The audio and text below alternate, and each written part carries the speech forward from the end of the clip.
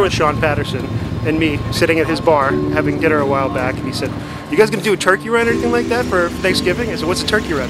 He said, "Yeah, maybe we strap turkeys to the back of our bikes and go donate them." So we're like, "Okay, cool." So it was like, like all great ideas, it was hatched at a bar, and uh, we did it. So the first year we had 30 or so people show up, but it was a good time. We used Sean's uh, walk-in cooler at Lobo to store all the birds. We're doing that again. This year we've upped it to 50.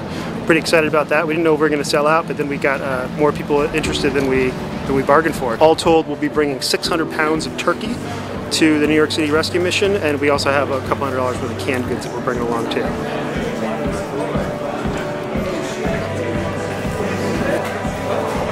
All right, thanks everybody for coming.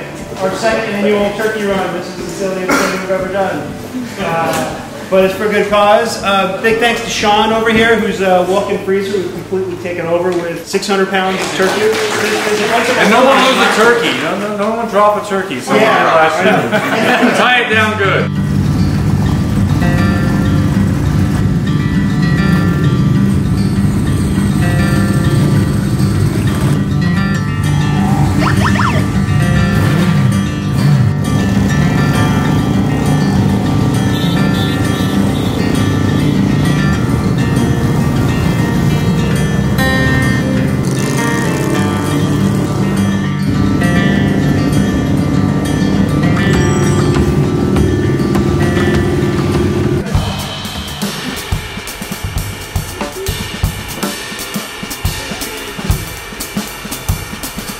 Oh,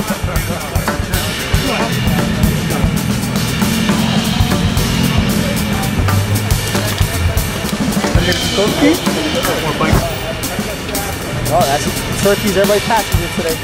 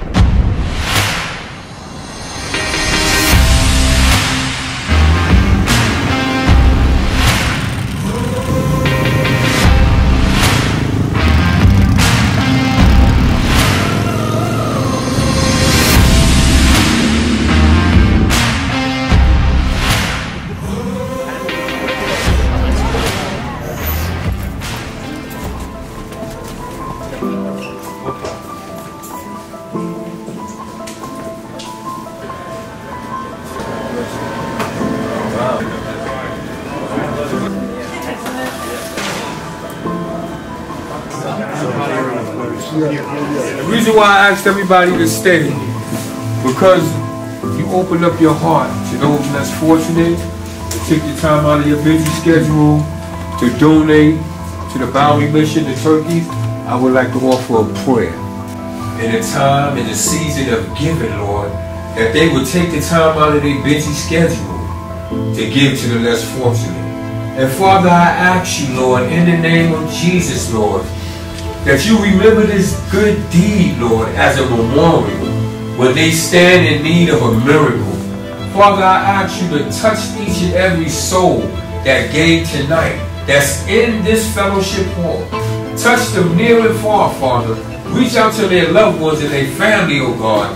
Bless their motorcycles, God. Give your angels charge over them, Lord. Keep them from all danger, hurt, and harm. Seen and unseen, known and unknown, Father. And we thank you for them, Lord God, for touching their heart in this season of giving. For truly you are the Lord that keep on giving. Amen. Amen. Amen.